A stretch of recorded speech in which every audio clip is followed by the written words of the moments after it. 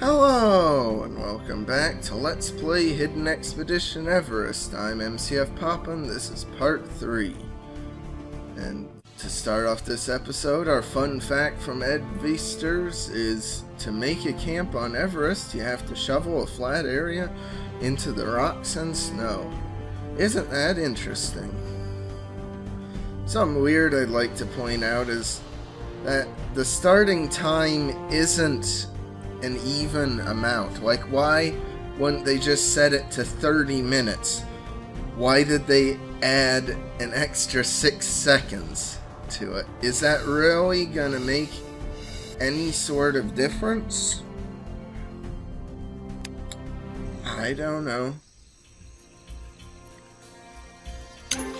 And now for something different you may be noticing right now, if you're listening, that there's sound effects.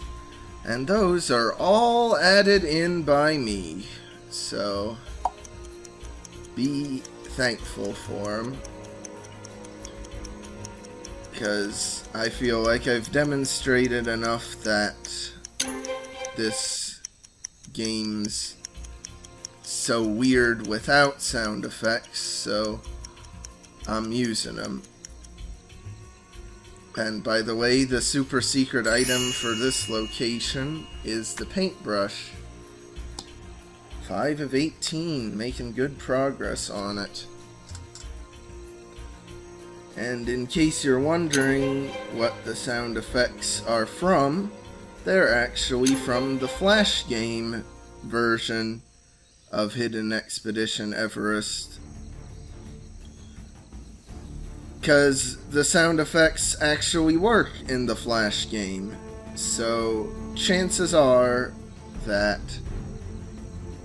something in one of their updates to the digital version broke it, or maybe it really is like a computer issue, and just on like a Windows 7 it doesn't work. It has to be like XP.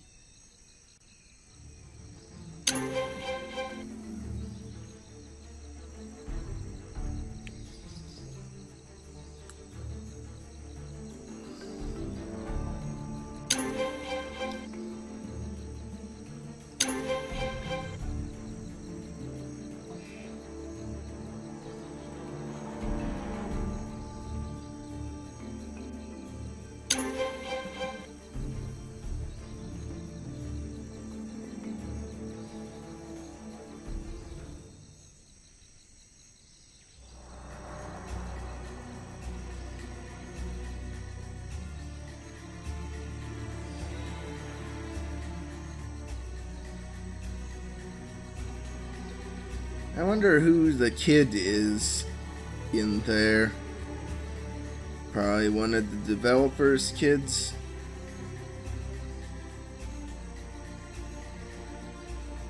Who got to be immortalized as apparently flying a crashed plane.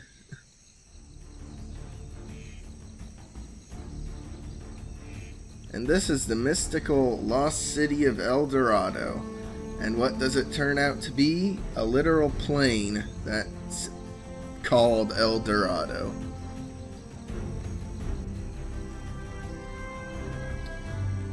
Oh, and I suppose there is some gold with it, too.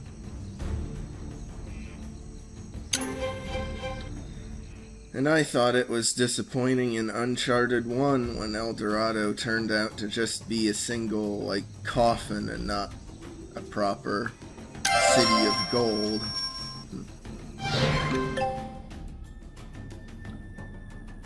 Legend has it that El Dorado is an entire city made of gold and jewels. That's what legend says. But in actuality, it's just a crappy plane from, like, World War II or something that crashed in the jungle. Makes sense, doesn't it?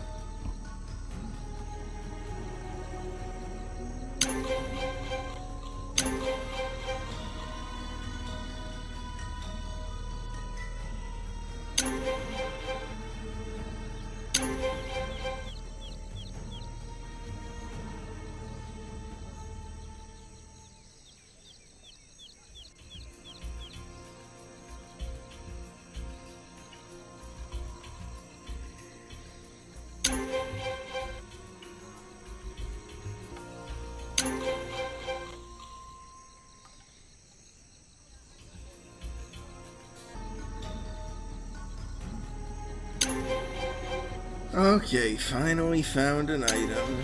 I don't know why I was having such trouble seeing stuff.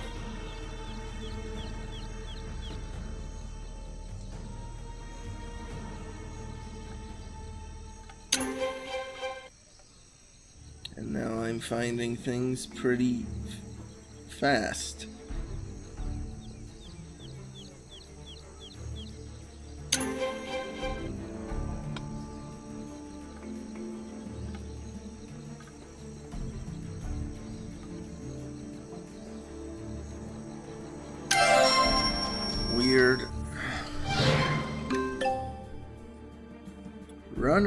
Called Chasquis delivered messages along the Inca Trail. Well, thanks for that great info, Ed.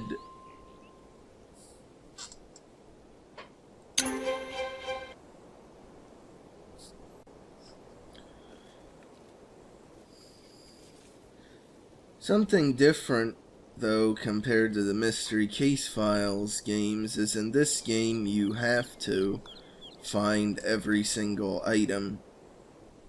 And it was the same way in Titanic and Amazon, too.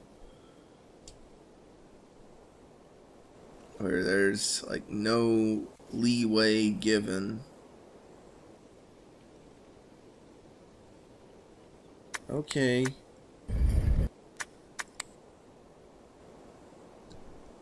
I don't know where the music is. There we go. God.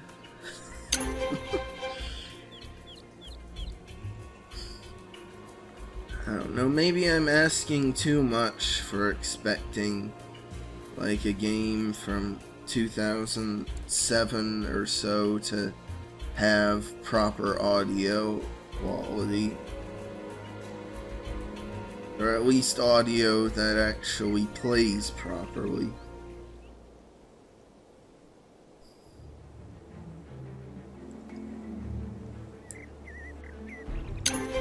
Well, that lizard was in the reptile house in Huntsville.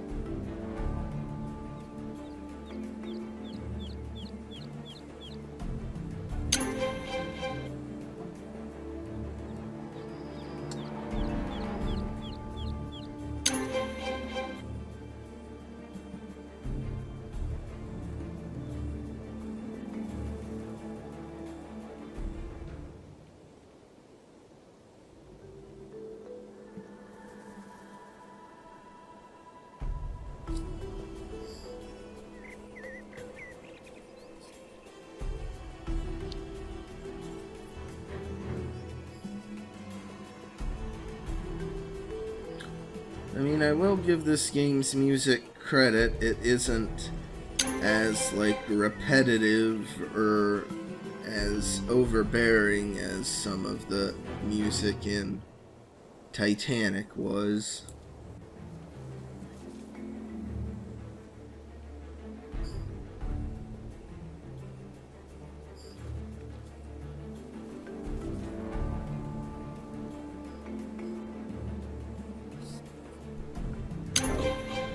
I didn't collect the precious hourglass. Oh no, I might actually lose the race for this level. Oh man. That's pretty gross. Someone left the molds their orthodontist made of their teeth. Just go on vacation to Machu Picchu and just leave those of all things littered about.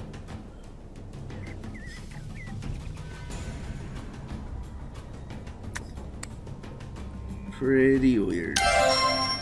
Man, that's a tiny, tiny pea pod. Ooh, another plate, but this time it's of breakfast. Or at least sausages. Which I guess aren't technically explicitly for breakfast.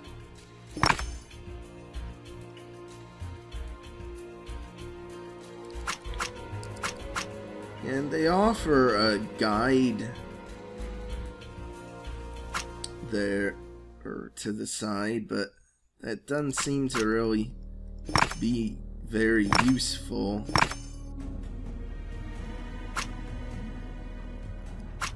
as a guide and it isn't really that hard to figure out where stuff goes for that matter.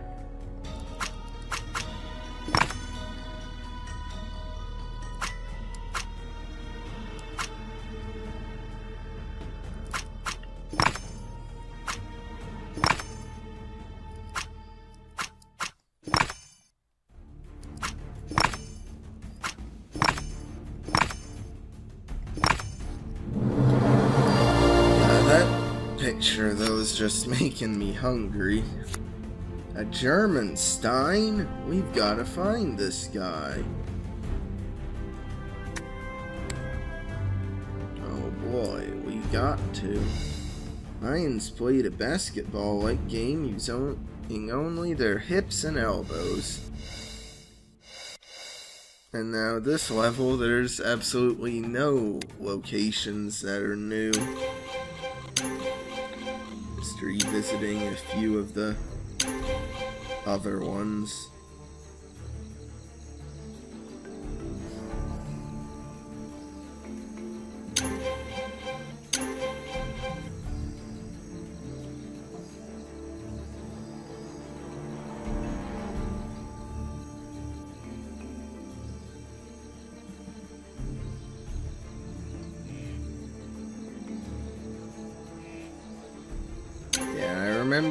Horns are this time.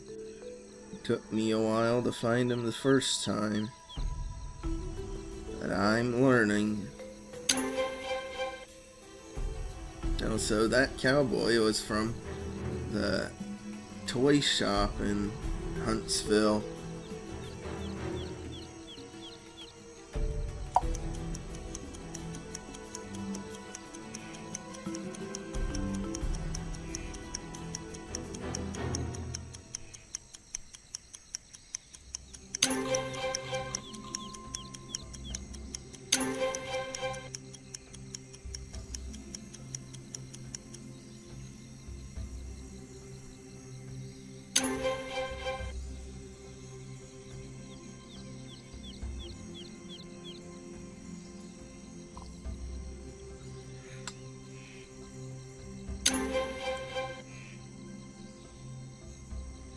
Oh, there's also no sound effect for misclicking in this game.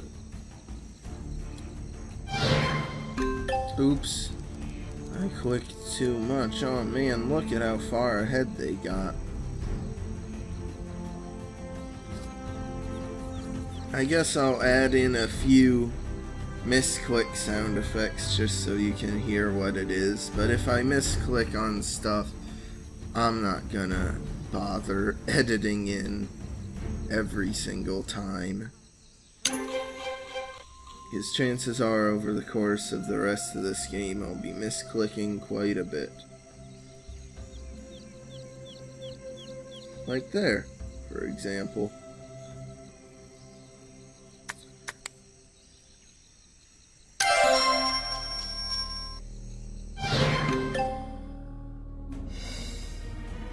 Legend of El Dorado inspired many European explorers to come to the New World.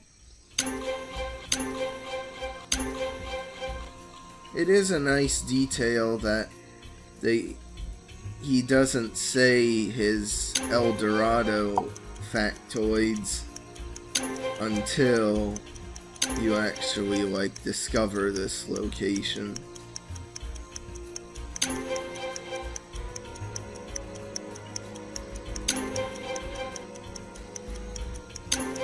Actually find that boy. Okay.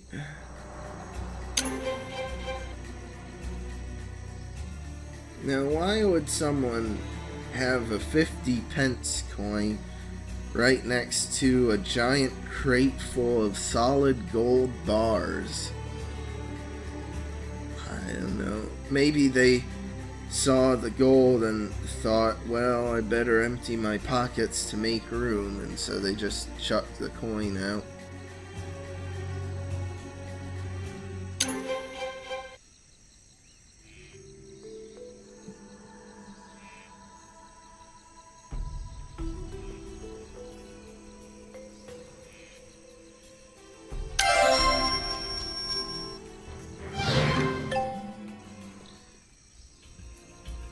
And yes, editing in all these sound effects will be time consuming for me, but I have plenty of time because, for the record, this episode's being recorded on August 14th, 2022.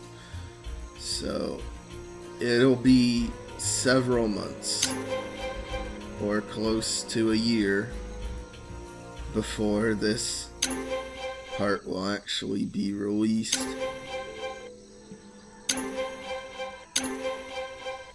I do like how there is variety in these scenes, so there's more replayability, like there's horseshoes and bugs and to birds to find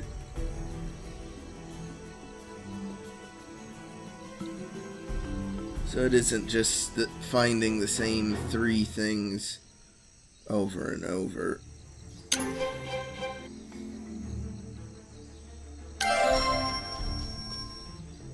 And get a load of this guy. He seems to be very overjoyed to be playing his accordion. Despite people throwing tomatoes at him, so he's probably not playing the accordion well. but he's just in his own world, happy to be there, I guess. So props to him. Hailed as a genius but despised by many, Otto Brottweiler gained world recognition when he reinvented accordion music with his controversial Everest hit, Ice Ice Crazy. Hilarious. A harrowing flight to Germany. Will we find our explorer? I don't know. There's new footage in my photo Will album. we? We'll find out in the next part, but first let's look at some more vacation slides. We hire a group of Sherpa to help us climb in the Himalayas. We integrate them into our team, and they integrate us into their culture. They are Buddhists and hang these prayer flags so that the prayers will be blown upward in the wind. We have a blessing ceremony before the climb, and whoever is left at base camp burns juniper to help safeguard us as we're climbing. It is a very spiritual experience for them, as well as for us. Yeah, get a load of that high quality 240p video. Amazing, isn't it? We use aluminum ladders to get over deep crevasses on the mountain. The ice shifts and melts over time, so we have to add and fix ladders as needed.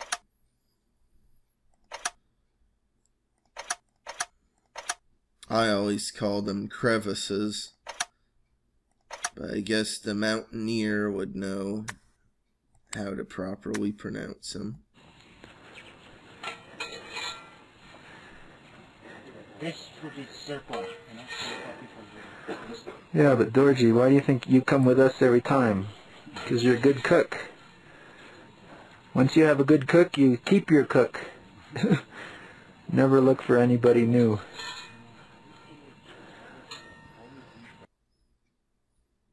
Wow, wasn't that hilarious? Wasn't that a great video? Amazing. But anyway, that'll do it for this part, so like and subscribe if you want. I'll see you next time.